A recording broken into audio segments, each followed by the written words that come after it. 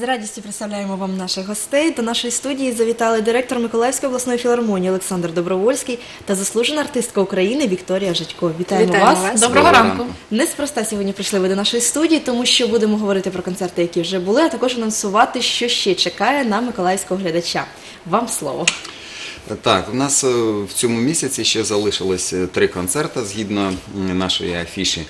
Е, І найближчий це 19 листопада цієї суботи відбудеться концерт камерного оркестру з солістами, молодими нашими юними талантами, яких ось запросила Вікторія для участі у програмі Юна філармонія. Це мистецька акція, яку Вікторія і започаткувала. Тому всіх запрошуємо на цей чудовий концерт е, послухати юні таланти у супроводі професійного оркестру. Вікторія, тоді перше питання до вас щодо учасників, як обирали талановитих юних е, музикантів. Е, Я звернулася до директорів е, спеціальних е, музичних шкіл при консерваторіях. У нас в Україні таких є чотири консерваторії і при них школи. Це середні спеціальні музичні школи-інтернати, е, які готують дітей вже з маличку з першого класу до професійної музичної діяльності. Всі директори відгукнулися. Е, Сказали, що у них є безліч цікавих талановитих дітей. Ну і от у нас вже вишикувалася ціла черга з таких діток. На щастя, багато філармоній відгукнулося, а Миколаївська найперша. І ми вже навіть е, в Миколаєві це вже зараз друга наша програма. Запланована вже на січень третя тематична про творчість Моцарта.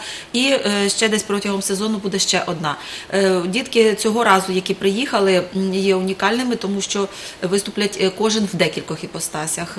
Наприклад, е, Денис Прядка, якого ми знаємо як диригента, він уже в першому випуску брав. Він е, зараз е, ще також гратиме на фортепіано в супроводі оркестру. А Ольга Рукавішникова, яку ми вам представимо завтра, вона унікальний талант. Дівчина грає на скрипці, грає на альті. Е, Грає на фортепіано в супроводі оркестру, також грає на кларнеті, а сказала ще не, не настільки добре, щоб вийти з оркестром, може наступним разом, а також вона ще й диригуватиме. Така дитина оркестр. Це просто неймовірно. Так, так, тому нам би хотілося, звичайно, щоб це чудо всі побачили. І наймолодша учасниця нашого зав- завтрашнього проєкту це е, десятирічна скрипалька. Е, Яку би ми хотіли вам показати, вона вперше в нашому участь е, бере е, участь в нашому проєкті. Ну і маємо надію, що також це буде добрим прикладом для миколаївських діток, яких ми запрошуємо також до участі в наших проєктах, які ми будемо показувати в інших містах. Ми б хотіли, у вас я впевнена, багато є талановитих дітей, які можуть теж виступити з оркестром, Хотілося поїхати з дізнатися, концертами. яким чином саме обиралися саме ті діти, За рекомендації дире- участь? з рекомендацією директорів, е, заучів шкіл, а також е, їхніх викладачів. Тобто А ви- чи проводився саме від вас якийсь Е, конкурс? Ні, ми конкурс не проводили. Ми робили лише, е, лише м, по рекомендаціях, тому що е, це ще зовсім новий проєкт. Він започаткований в червні, і ми звернулися так швидше. Буде просто напряму звернулися до дирекції. Вони знають своїх учнів краще. Спитали, хто хоче, хто готовий, хто може, тому що дітки приїжджають за свій власний кошт, батьки їх привозять. Е, Тобто, це ще не кожна дитина може фінансово е, потягнути таку справу. Але батьки, які зацікавлені в майбутньому своїх дітей, вони інвестують таким чином, бо це величезний досвід, це враження на все життя.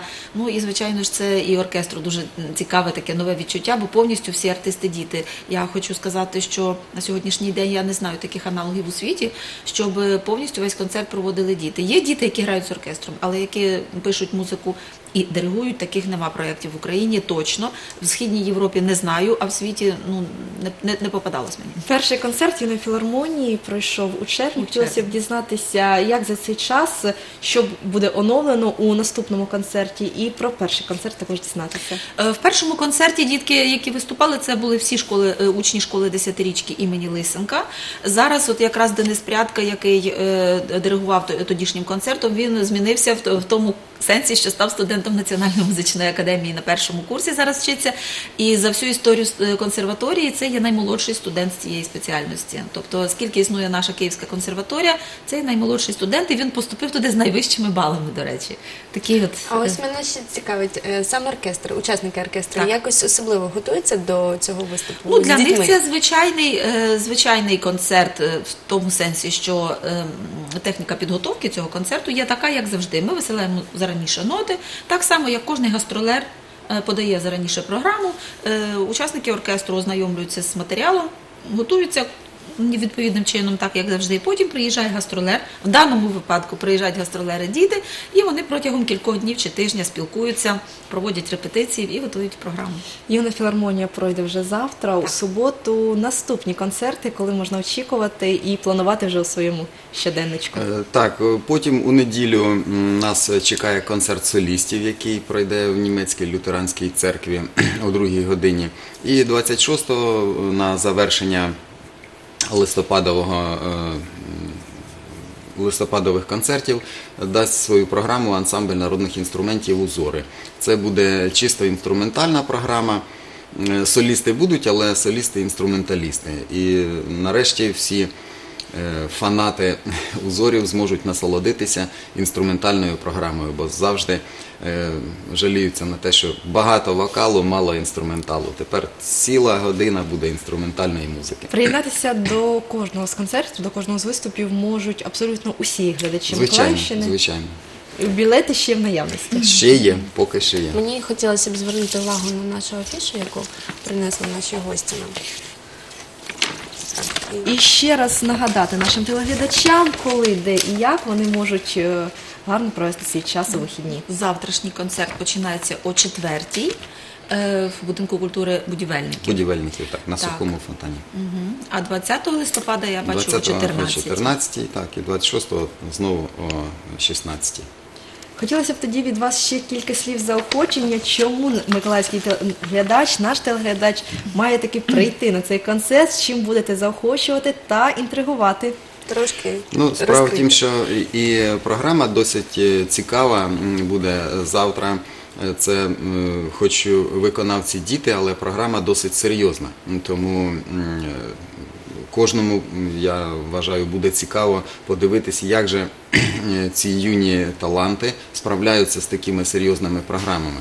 І, по-друге, Е, Це варто подивитись кожному, тому що музика надихає, музика очищує.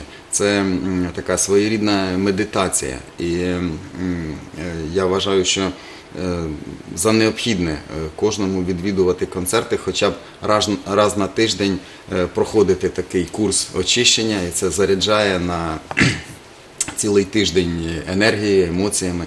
Тому всіх запрошуємо на е, Ну, ще таку арт-терапію. Можна ще сказати, що це ж все ж таки вихідний. Е, Я думаю, що варто брати і діток із собою, тому що е, якраз всі найкращі звички і всі враження на все життя закладаються в дитинстві. Тому, звичайно ж, мені здається, що треба формувати нам нашу майбутню публіку. Беріть діток із собою, приводьте внуків, приходьте з родичами.